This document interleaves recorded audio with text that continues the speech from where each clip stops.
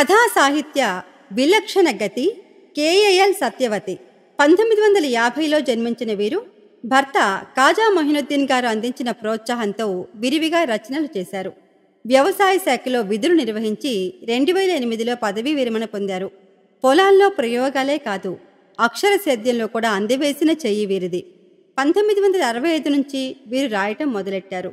బుజ్జాయి బాలమిత్రల్లో వీరి రచనలు ప్రచురింపబడ్డాయి. బాల రచయిత్రిగా తన ప్రయాణాన్ని ప్రస్తావించాల్సి ఉంటుందేమో. వనితాజ్యోతి పత్రిక జయశ్రీ లాంటి వాటిల్లో వీరి రచనలు విరివిగా వచ్చాయి. వ్యాసాలు సమీక్షలు విశ్లేషణలు ఎక్కువగా ముద్రితమయ్యాయి. ముందుగా కథకురాలిగా ప్రస్థానాన్ని మొదలెట్టి వృత్తిలో ఉన్న సమయాభావం వల్ల కవితల వైపు మొగ్గు చూపించాల్సి వచ్చిందని చెప్తూ ఉంటారు. ఎక్కువగా కవితలు రాశారు. దాదాపుగా మహబూబ్ నగర్ నుండి వచ్చిన కథా కవితల సంకలనాల్లో వీరి రచన లేకుండా ఏ ఒక్క సంపుటి కూడా వచ్చిన దాఖలాలు లేవంటే అతిశయోక్తి కాదు.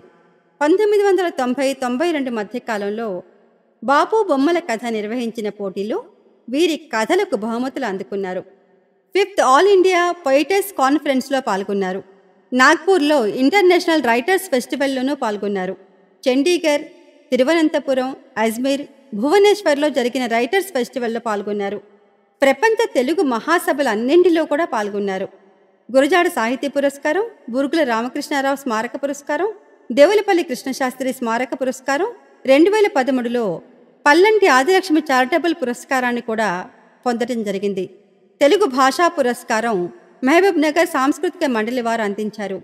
విశాలాక్షి పురస్కారం దీపావళి కథల పోటీల్లో బహుమతులు అందుకున్న విషయాన్ని కూడా ఇక్కడ ప్రస్తావించాల్సి ఉంటుంది.